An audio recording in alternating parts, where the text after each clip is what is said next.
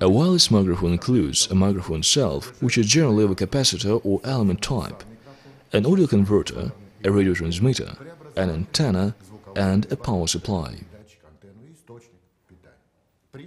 Wireless microphones operate by way of coding an audio signal, which is converted into radio signal and transmitted at certain frequencies to the receiving base, a radio receiver or a UHF tuner.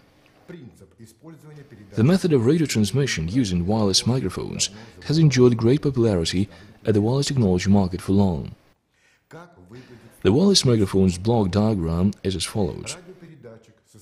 A radio transmitter includes a microphone amplifier with an automatic signal level control, a modulator, a master self oscillator, a power amplifier, a matching device and a power supply. A transmitting antenna is connected to the output, while the microphone is connected to the input. Such a block diagram requires transistors with minimum saturation voltage. This improves the performance of low-voltage power supplies, the performance index, and transmitter's output power.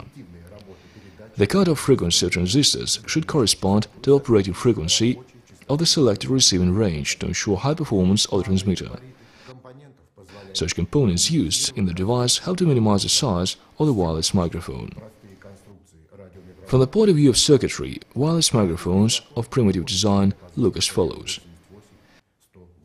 There is a wireless microphone working within the range from FM 82 to 108 MHz. The high frequency oscillator includes two transistors to increase the output power. This device is equipped with a single sensitive microphone, MKE3. Take a look at one more simple circuit working in the same range. It offers a smooth operating frequency tuning within the range using a miniature variable capacitor connected to the oscillator circuit. The reach area wireless microphone embraces several dozen meters.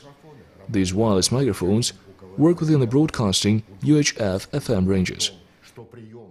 They are very convenient as transmitting signals can be received by regular radio receivers working within respective ranges.